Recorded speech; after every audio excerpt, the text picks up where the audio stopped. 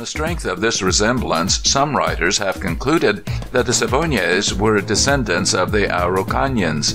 This disagrees with the traditions of the Siboneyes themselves, who claim to have immigrated from Florida. First driving from the island the males of a nation who were inferior to themselves in number and civilization. Moreover, the Indians of Cuba long had tradition of the wonderful land of Contio, or Florida.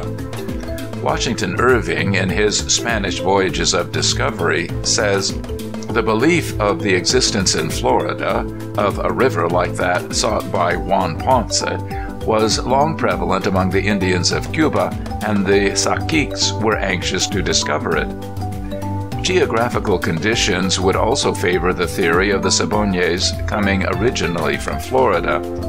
Evidence of an earlier race in Cuba has been discovered in the caves of the eastern part of the island. Skulls differing greatly from both those of the Siboneyes and Caribs have been found, as well as stone implements which most authors agree were not used by the Siboneyes. It is probable that the Siboney tradition of their coming originally from Florida is correct. In the time of discovery, Cuba was divided politically into 30 different states as follows: Sabanake, Callajaya, Manebon, Bani, Barahayu, Sagua, Baracoya on the north coast, Hanamano, Huague, Guanahaba, Mayon, Omapai, Guanaros, Quebe, Cucanayani, Makaka, Boyuca, Baja Tequiri, and Masi on the south coast, Guanahami, Guanahuanica, Marian, Habana, and Canahueya touching both coasts, Macorejis, Calajon, Bayamo, Maye, and Quayamaj in the interior. Each state was independent and was governed by a king or Sakik who was absolute ruler of the nation. Subject to no laws and holding the power of life and death over his subjects, this power was seldom used arbitrarily, the Sakik appearing more in the role of a father to his people. The subjects of the kingdom were called Tainos, probably signifying citizens or subjects. They were of different rank. The Naitans or Naitanos formed the nobility or commanding part. The Naboris or Anaboris, the vassals or laboring class, who were divided into different groups, each group under the authority or command of a Naitans. As a mark of distinction, the nobles wore the hair tied high up on the head, and on feast days adorned themselves with feathers, gold shells, etc. The hair of the vassal was cut straight about the ears.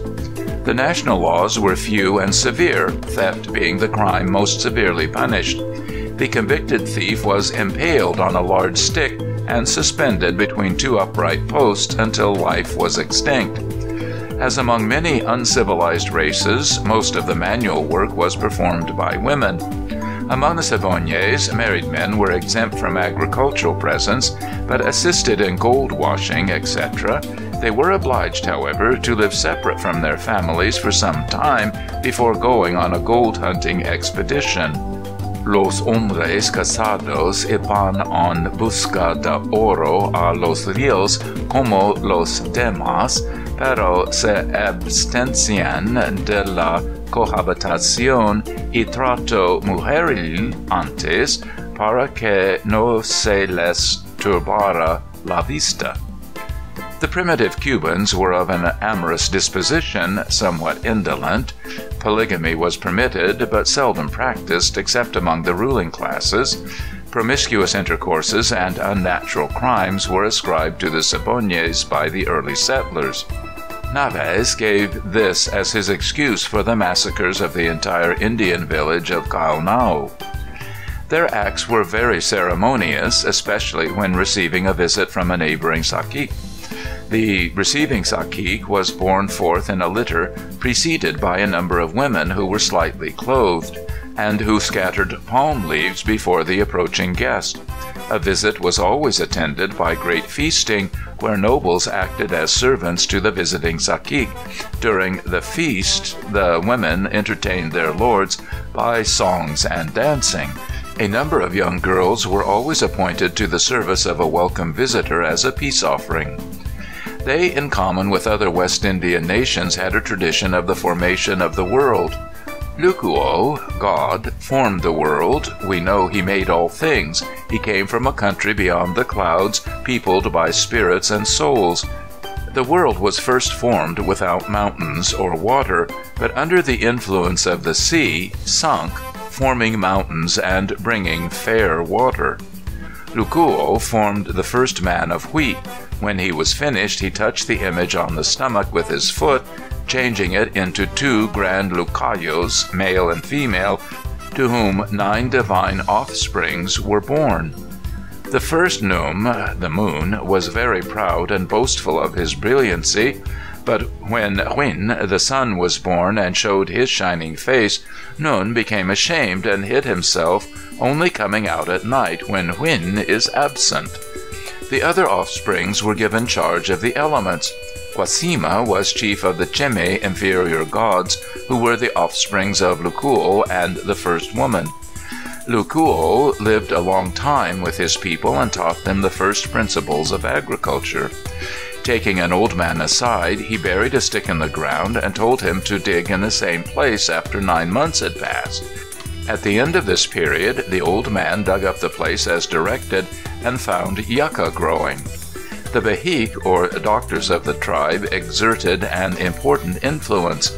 They were charged with the perpetuation of the nation's history or traditions, which were taught to the children of the nobility in the form of songs which were chanted by them on feast days. The Behique was also at the head of their religion.